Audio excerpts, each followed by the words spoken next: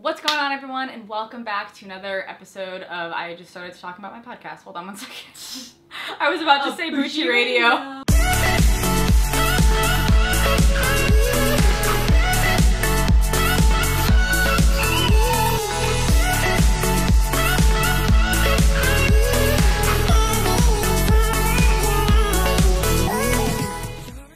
What's going on everyone? Welcome back to my YouTube channel. My name is Amanda and I am here to talk to you guys today about how to make the leap and actually do the thing that you've been meaning to do. So over the last couple of months, I don't know if you guys know this or not, but if you guys are new here, I do have a 90 day mentorship program called the Influencer Academy where I help serve beginner entrepreneurs, service providers, and coaches and trainers to go from transitioning out of their nine to five, being completely alone in their journey, really wanting to take the next step and do the thing that they've been wanting to do, which is launch their coaching program, actually get clients and do all the amazing things and become the influencer that they really want to be.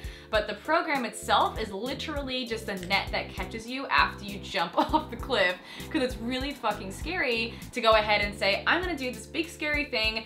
And there's a lot of factors and moving pieces that go into it. Maybe you only have a couple of hours after work, after your nine to five, and you just don't wanna do the wrong things and waste your time. But there's also the fear that comes along with it, like I'm not good enough, or I'm not the expert yet, or maybe I have to become the expert and network and build my audience before I do all these things. Maybe I have to get a certification, or I have to get ready more, or I have to prepare my programs more. And the conversations that I've been having with the people that are joining these programs, I've been going back and forth for the last couple of weeks with a few women, a couple of men, and really just asking them, hey, what's stopping you? Like, what is the biggest thing that's stopping you from doing the thing that you really want to be doing? And the biggest thing is that a lot of people, I believe that they say they want to know the blueprint.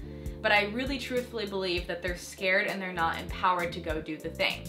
So the scariest thing in the world is jumping into the unknown essentially. And the feedback loop that we have is that we're getting ready to get ready. So we start here and we say, yay, I'm so ready to do the thing. I'm excited. I'm going to launch my coaching program. I'm going to do it tomorrow. I'm going to start on Monday. I'll post on Instagram. And then maybe you actually start posting on Instagram and you start to kind of, you know, do things similar to other people that you've seen do things. Maybe you post a couple of butt pictures. Maybe you start your YouTube channel. Maybe you feel like you have to go on Facebook Live. Maybe you just start doing a couple of different things that you think you have to do, but you don't really have a good system to do it, right? So you just kind of go with what you think. And you're like, screw it, everyone's saying to just go, go, go, and I'm going. And then a couple of things happen.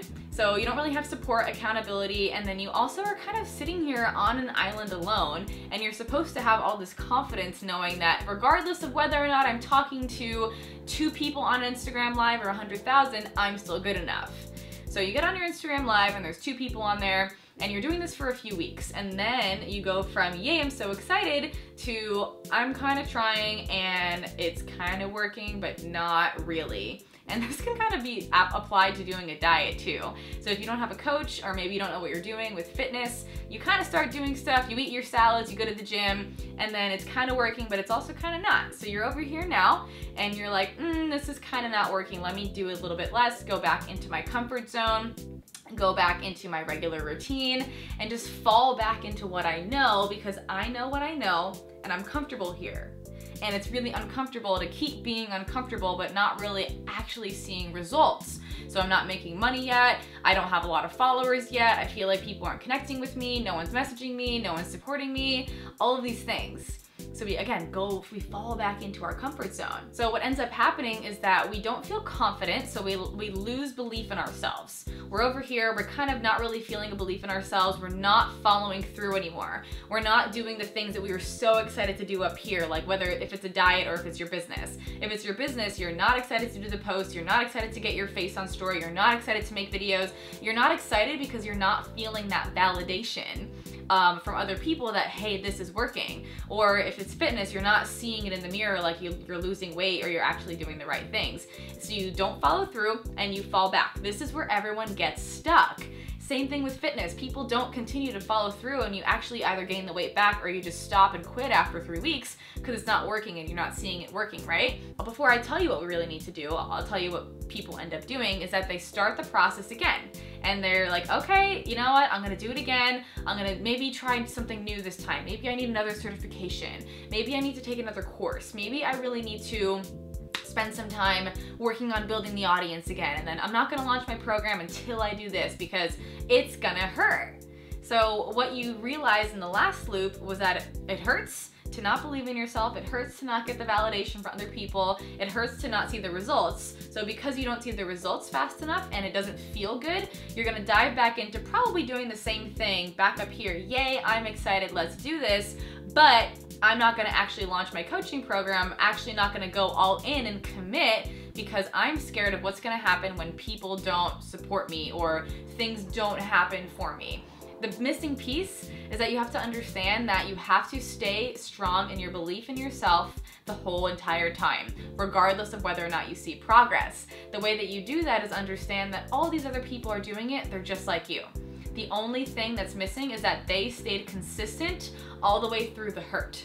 And that's what most people do if you guys can think of that little meme, and Emma, you can put this on the screen, where there's two guys and one guy is hammering away in the middle of an underground cave and there's diamonds over here. And one guy just keeps going, keeps going, and he's like, you know what, screw this, it's too hard. And he turns back around and there's a little inch before he gets to the diamonds. And then the other guy is still excited and hammering away and he keeps going, even though it's taking him a long time, even though it's really difficult, but he ends up finding the diamonds because he's that close. So all you have to do is think about it in that way and don't let yourself get blocked by getting ready to get ready. You don't need to do the minutia. Like you do not need to create an ebook. You do not probably need to keep posting on social media and then not announce your coaching program. You need to start the podcast, you need to start the YouTube channel, you need to tell people that you're a coach, you need to tell people what you're doing, you need to sign on clients, get on phone calls, and do the thing, and then, and only then, will you build the confidence. Will you build the expertise? Will you build the value because now you're actually doing it? And guess what happens when you actually do the thing? you actually get really good at it because you're in the middle of it and you keep yourself on the line. So when I first started my YouTube channel over here, I wasn't good at it in the beginning, but I just kept doing it and followed through. And then people found me, people asked me questions, and then I had new ideas for videos. I didn't start my YouTube channel like, oh, I have hundreds of ideas, I'm just gonna execute on all of them regardless of what happens in the process. The most beautiful thing is seeing what happens in the process and learning as you go. It's called experiential learning. And guess what you have to do to have experiential learning? You have to do the hard things that you're not, wanting to do. So if there's a little voice inside of you telling you don't do this thing because it makes you uncomfortable or it's scary, that's the one thing that you have to do. It really truly is. So I hope this video was helpful for you guys and give it a thumbs up if you liked it, share it with a friend, someone who needs to hear this, that needs to take that leap off of the deep end, the dive off the diving board, jump off the cliff. I got you if you need someone here to support you um, on the on the bottom, on the net, if you need some help and support.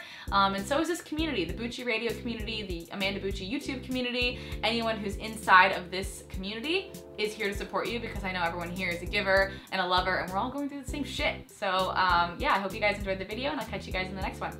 See ya.